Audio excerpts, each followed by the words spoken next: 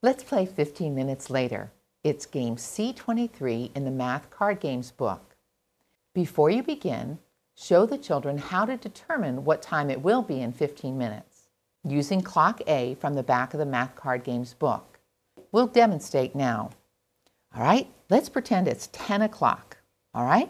Stephen, what time will it be 15 minutes later? Can you move this hand for me and count and show us? One. Ah, very good. Can you move the hand and show us what time it will be?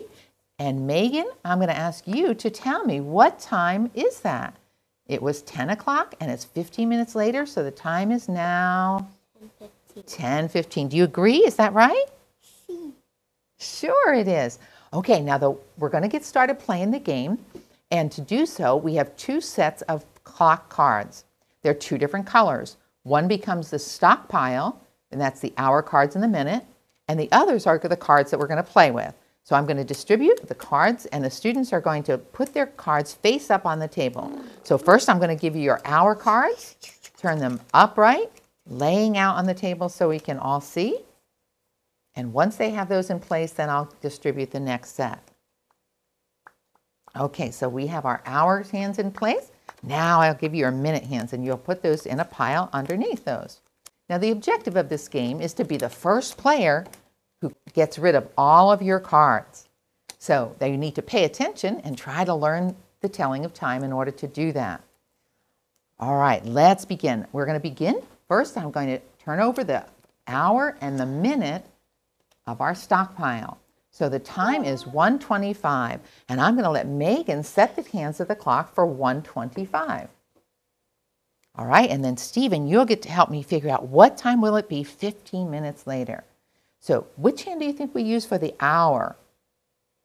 Do we use the little hand or the big hand?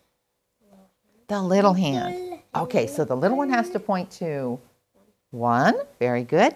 And the big hand has to point to 25, but there's no 25 on my clock. What am I going to do?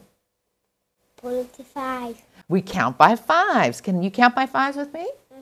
Let's do it. 5, 10, 15, 20, 25. So we set the hands for 25. Now, let's see what time it will be 15 minutes later. Stephen, I'm going to let you count by fives for me. Ready? 5, 10, 15.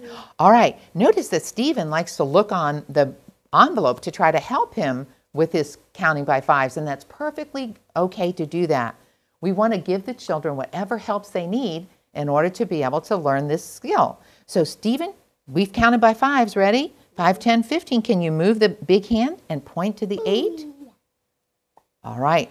The time is 125, and we went 15 minutes later. What time is it now? It's still pointing to the 1. Now let's start at the top and count by our fives again. Ready? 5, 10, 15, 20, 25, 30, 35, 40. All right, let's. 40. It's 140. Good job, Megan. Good job, Stephen. So let's look who has the 1 o'clock, the hour hand that says 1. Megan has it.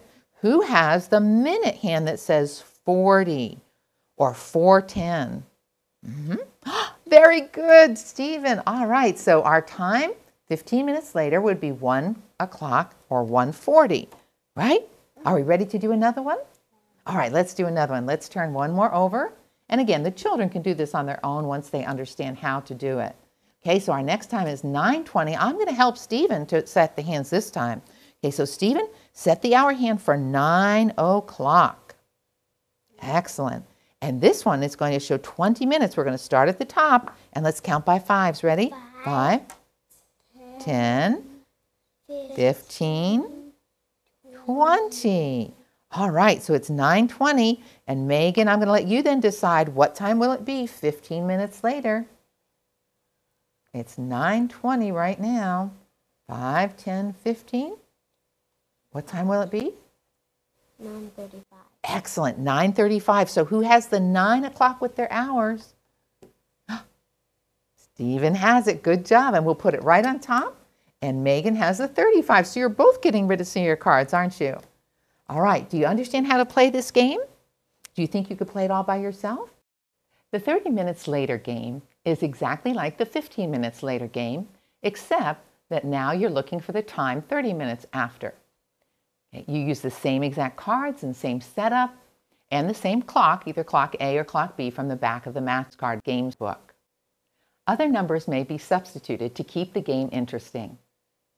Children need variety as the brain learns through novelty and then establishes a pattern for quicker retrieval.